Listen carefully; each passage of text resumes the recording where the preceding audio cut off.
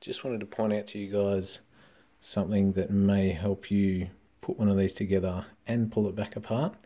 That's dealing with your keyway.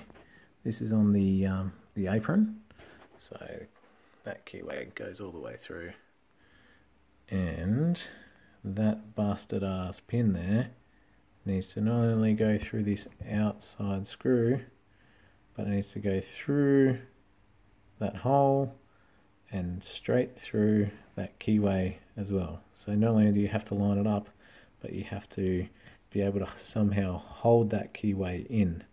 Now I saw, I think Mr. Pete, he put in the lead screw and used the keyway in the lead screw to line that up. Um, I thought, screw that, just make a clamp. So, just make a clamp. Don't have to be all fitter on it, just make a nice curved edge. Down the base there. So now that, I probably won't be able to do it with one hand, but, oh God, should fit.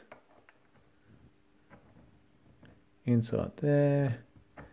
And then now that is sitting right on top of that pin plus now the base is holding in that keyway so as I crush down that pin it'll go straight through your hole and your keyway is going to stay nice and tight where it should be I thought that'd help you guys out make yourself one it'll save yourself a lot of trouble this is the second time I've fixed up one of these aprons so definitely worth making one in my case.